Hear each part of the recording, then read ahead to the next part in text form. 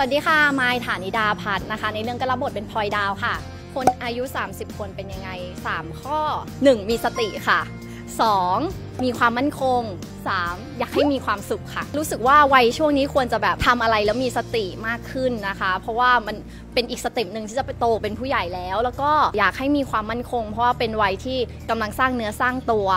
แล้วก็อยากให้มีความสุข อันนี้เป็นเหมือนคำอวยพรเล็ก ๆ ว่าชีวิตเรายังไงก็ควรจะต้องมีความสุขค่ะ ก็อยากให้ทุกคนได้ชมละครเรื่องนี้นะคะ เพราะว่าหลาย ๆ คนอาจจะเจอปัญหาอย่างตัวละคร อยากให้รู้ว่าทุกปัญหามันมีทางออก สิ่งรอบ ๆ ตัวดี ๆ ยังมีอีกเยอะ ก็อยากให้ละครเรื่องนี้เป็นกำลังใจให้ทุกคนด้วยค่ะ ฝากติดตามละครเรื่อง 30กำลังดี is okay to be 30 ด้วยนะคะ ทุกวันศุกร์เสาร์อาทิตย์เวลา2ทุ่ม15 นาทีค่ะ ทางช่องไทย PBS กดเลข 3 นะคะ หรือรับชมอีกครั้งได้ทาง w w w w i p a m e ค่ะ หรือว่าแอปวิภาค่ะ